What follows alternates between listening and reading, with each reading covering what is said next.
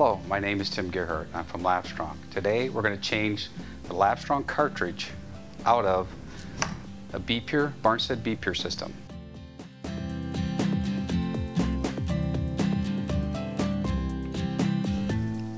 And all we're going to need today is gloves. Should use gloves because anytime you handle the canister style cartridge, you don't want to contaminate the outside of the cartridge with anything from your hands. So we'll always use gloves. First thing you want to do is depressurize the unit by disconnecting. Open up your valve at the end, whatever this is connected to, you want to make sure this is open. And then shut your water source off. Disconnect your water source.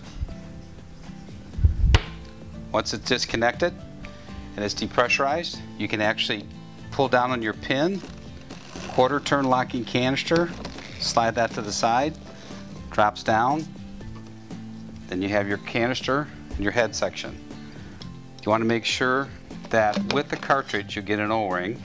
This is a GSX 28LS.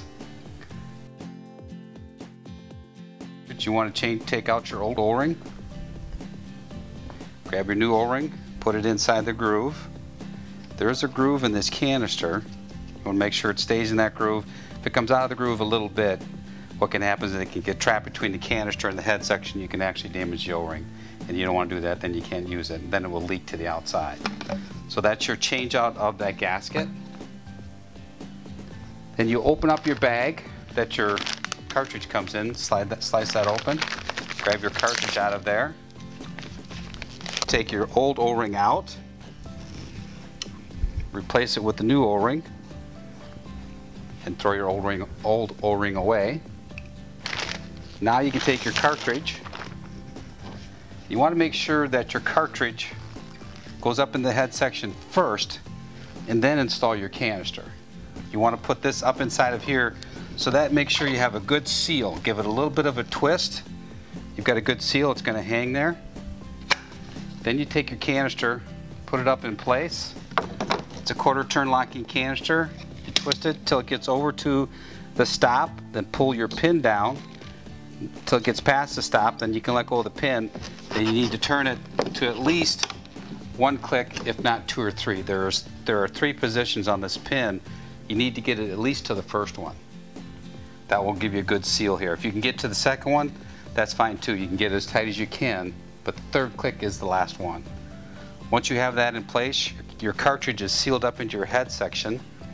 That's very important because you don't want it to bypass. Because water, if you don't have that sealed up inside of there when we first installed it, if it's not sealed in there, it, water could bypass the cartridge, go out the other side and not even go through the cartridge. You don't want that. So now that we have the, the cartridge installed, we go ahead and connect up our water source. Then this side, whether it goes to another piece of equipment or it goes to a tank or whatever, wherever this is going to, to feed, you go ahead and open that up. You want to get the air out of it, so that should go to drain first. Once all the air is out of the system and you've rinsed about five liters to drain, now you can go ahead and shut this off, shut your inlet off, connect this to whatever product it's going to, like a, a DI system for pre-treat, could be going to a distillation system for pre-treat. You want to head connect it up to that, then you can open up your valve and then have the water flow through there and you're ready to go after you've done that flushing action through this system for probably about five liters, five to 10 liters at the most. Then you should be complete. And that's how you install the, the Labstrong cartridge into a B-Pure, Barnstead B-Pure system.